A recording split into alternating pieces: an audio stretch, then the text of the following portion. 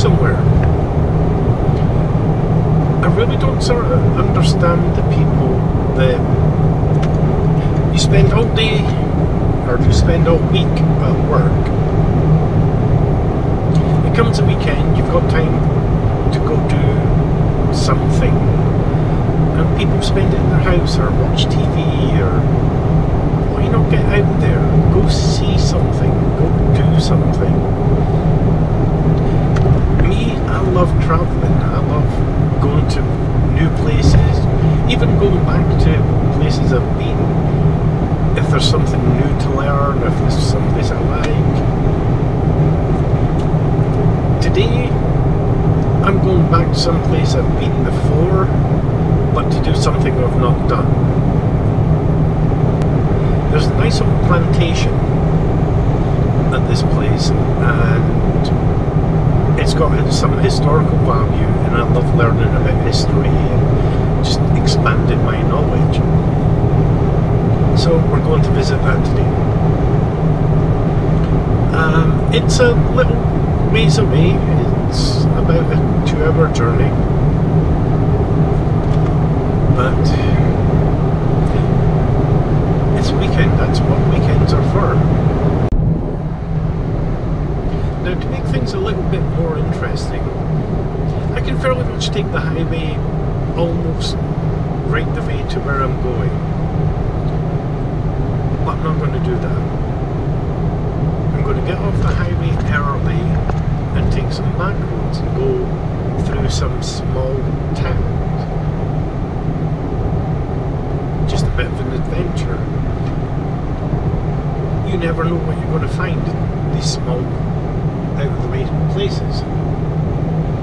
Yeah, fascinating.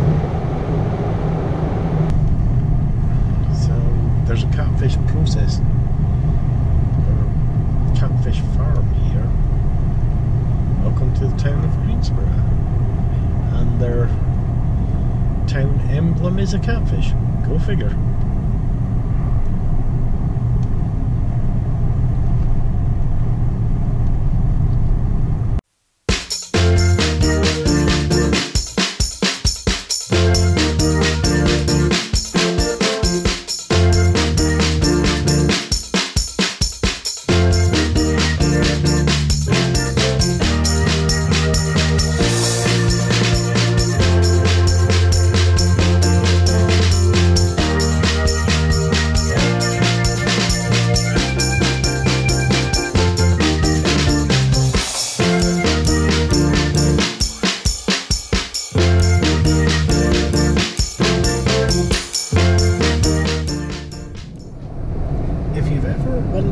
It's like to drive 140 on a back road,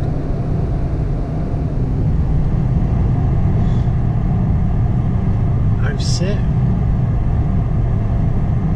my radar for that.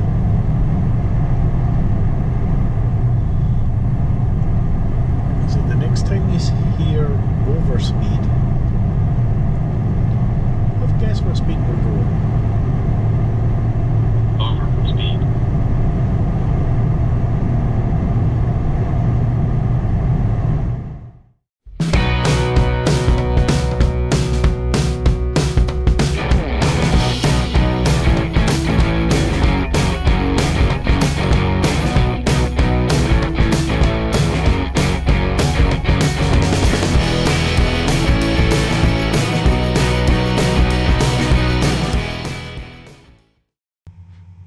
So here we are, back to the map showing where we're going. Hoover, as always, is our starting place. And this is where we're going. This is a town or a city, you might call it, called Demopolis. And in the middle of the city is a large old plantation called Gaineswood, our destination. At this point in the video, I originally had some footage that I shot inside of Gaineswood.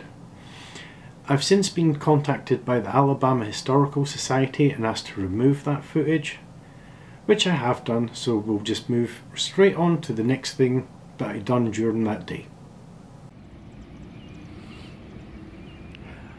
I'll need to check. But I'm sure there used to be a statue on top of this.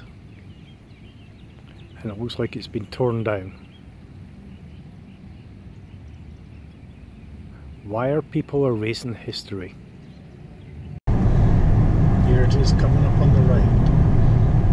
Acta non verba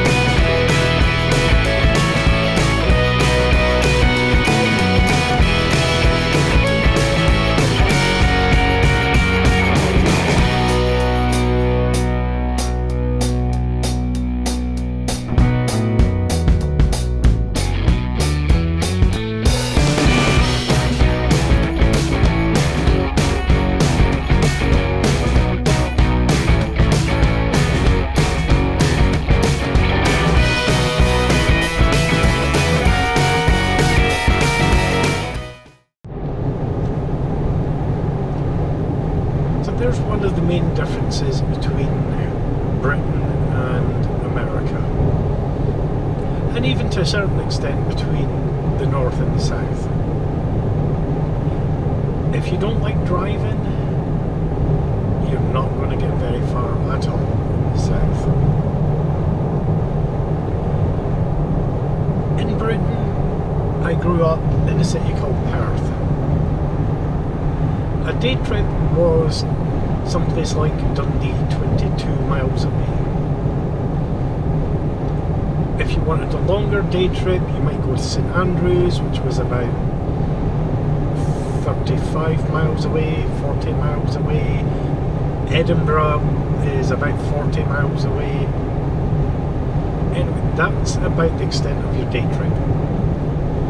About an 80 mile round trip. If you want to go really far, you went to Glasgow. Glasgow's 60 miles away. So your round trip is about 120 miles. Today's round trip is going to be, by the time we get back home, around about 270 to 280 miles.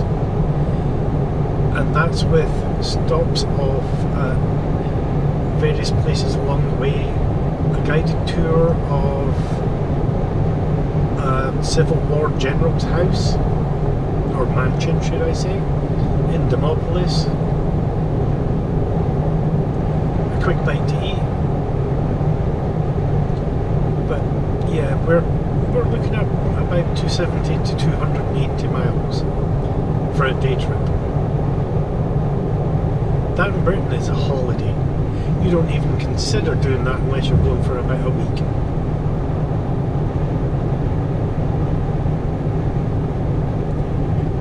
Here is nothing.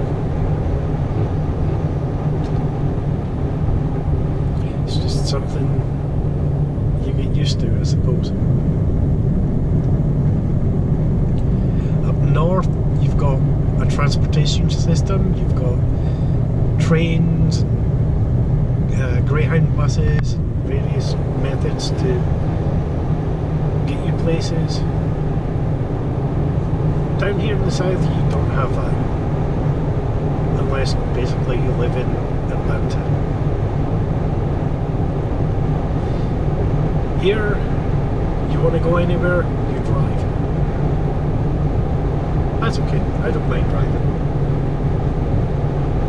Got a nice car, it's comfortable, it's air conditioned, which on a day like this in the 90s helped quite a lot. And I can push it, let's just say I can push it to the speed limit quite comfortably.